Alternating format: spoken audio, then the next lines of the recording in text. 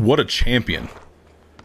What am I excited about these days? Uh, I mean, for where I live and what's going on, there's not a lot that I can be excited about. There's like some movies and games coming out that are going to be sick. I'm looking forward to April because I'm going to Harry Mack's Chicago show. Uh, it's the closest one to me. So I was like, you know what? Fuck it. Pull the trigger. Let's go to Chicago and see what's going on there. Uh, so that's going to be fun. In May, I get to go down to Missouri. My uh, nephew's getting married. And so we're going to go down there for the wedding and then for like a week to go travel around and look around and do some of that fun shit. So that'll be cool. And uh, yeah, that's in the next few months. And then I probably when I get back with that, I'll be having my surgeries. Or I might even be having one next month. Actually, I probably will. I'll have my nose one next month. I have um so your nose your nasal bones are supposed to be kind of curved so it branches out your passages. I got hit in the face when I was a kid, so mine's like flat. So now on my left side, my cartilage is all pushed over and that bone's broken. So it's got a really narrow nasal passage compared to like the right. So it's really hard to breathe. So what I think they're gonna do is they're just gonna go in and like they have to re-break and shape the bone, which sounds like absolute nightmare fuel. And then they have to like roto shape my cartilage like a drill. But uh yeah, that's the first one and then the second surgery that'll probably be happening after the May trip is a gastric sleeve. So essentially they're just going to take like a big chunk of my stomach out and then sleeve it. And it should help me lose like a bunch of weight right away, which is going to help with a lot of my like high blood pressure problems and like everything like that and my sugar problems, I was told that they would probably be able to discharge me with like a third, if not less, of the medications I now take. So that's nice. The night that I hooked up with Harry Mack on Omegle, that was some shit. Uh, as you guys know, it was like not too too long after my fiance had passed.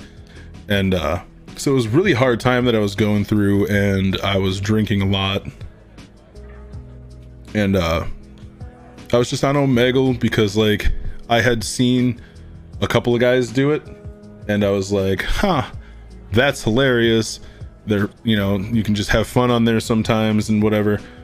And then once you get on it, you realize it's like completely different than what you see because obviously people edit it but I'm just like going through. I put my interest in and whatever. Music was one of them, and uh, yeah, he just so happened to pop up. That whole interaction happened, and that was all like one take straight through. I didn't. I don't think he edited any of it, and uh, it ended up just being like one of them things where, at first. I didn't know what was going on. I was all being dumb and trying to be goofy and shit because that's how I am. And then he was talking about doing raps and shit. And I was like, hell yeah, dude, you know, all about it. And then he started. and it was way different than I thought it was going to be because it was just like the most fire shit ever. Because normally when you're like on a site like Omegle or something, or just some kind of random chat thing, and someone's like, I'm going to rap for you, and you never seen him before, like play, you don't generally expect the best. I mean, I don't know who it is. He might be good, he might be shit and like sometimes I get people that like play instruments and some of them are all right and they're just starting out and stuff, so you never know what to expect. Well, for him, it was just like immediately impressive. So it was one of them things where I was like, holy shit, this guy's awesome. Uh, I'm gonna keep listening. And then it just kept evolving into what it was. And once we started having like the heartfelt moments, is when I think it like really set in for me how special this was. Because uh you know who else is just gonna be willing to do that for someone they just met like that? He is because he's awesome. Uh sorry i'm just getting my wheel put over here. I switch games real quick so i can just i can do a little bit more talking instead of focusing spilling shit all over the place Okay, Let's see how I can work this out. Put that there. That stays there. That goes there. This goes down. Okay. Maybe a little higher. I wish I had a stand like this light was on for my camera. But I can't. I can pull the camera off of this one. Why did it take too long? What the hell? I can pull the camera off of that stand, but then the light comes off and it screws on, and this one pops or screws on, so I can't readily switch them. Otherwise, my camera would be up a little higher, which would be nicer because then it would come down so you can see the uh, the wheel and such.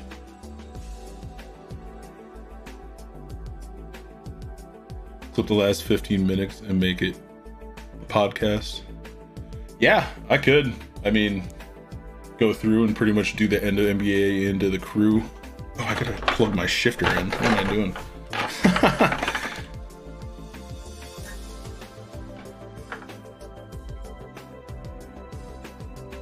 Why is it not loading, dude? This is ridiculous.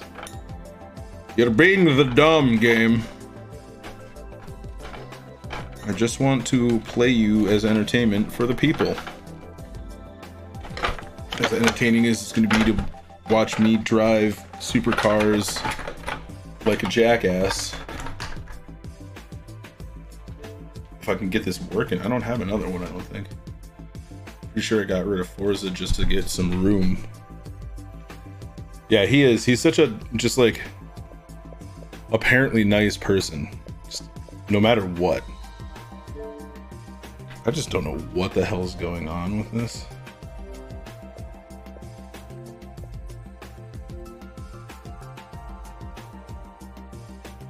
But yeah, uh he's a he's a awesome person.